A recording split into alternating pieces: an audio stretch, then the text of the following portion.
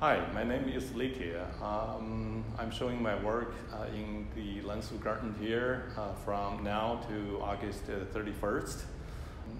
I like um, welcome everybody to come come to the garden and uh, uh, see my work here.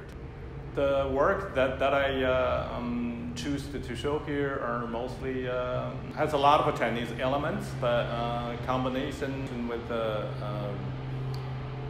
kind of a Western medium like pastels and painting, acrylic, and everything. So it's a it's a coordination with uh, my my experience in, in China and in America here. So yeah, it's a truly a um, uh, combination, I would say.